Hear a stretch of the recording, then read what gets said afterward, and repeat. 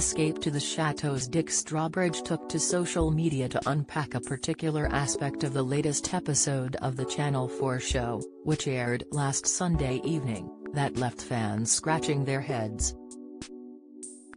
He admitted that the segment even left his wife Angel Adoree feeling concerned, as he attempted to clear up the confusion via Twitter. Dick, 62, shared an insight into the DIY-savvy couple's methods behind their delicious homemade cider with his 84,300 Twitter followers yesterday. The conversation started up when one viewer, Natalie McPhail, tweeted, At Dick Strawbridge please can you explain the apple crusher? What happens to the juice slash crushed apples? It kept me awake last night. Other fans chimed in at this, also clearly confused by Dick's methods. Julie commented, see I was the same, I couldn't work out how you got it out. I didn't see any hole. I was also baffled by this. Added Anne-Marie Watson, while Amanda Marlowe wrote, I was thinking of how the juice got out too. While Don Marie Smith commented, I saw a shiny pipe coming out of one of the stones, assume that was to drain the juice. Fabulous program again.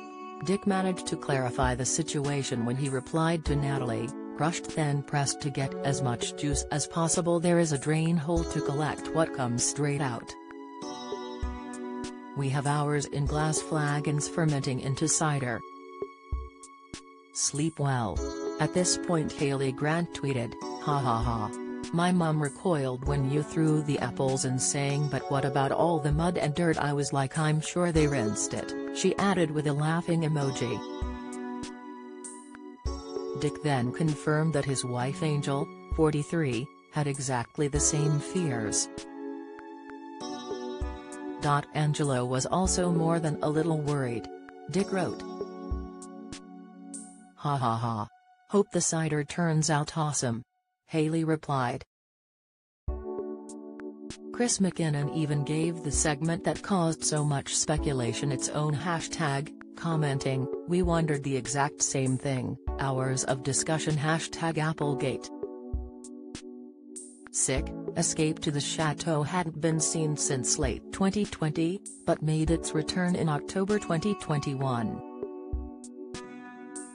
And Angel are back to give fans a glimpse into renovating their beautiful home in the heart of France while providing some great DIY tips.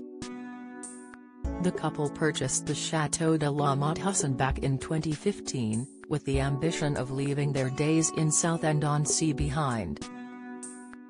For the past six years, fans have been able to follow their progress through their much-loved Channel 4 show. Escape to the Chateau continues on Sunday, December 12, on Channel 4.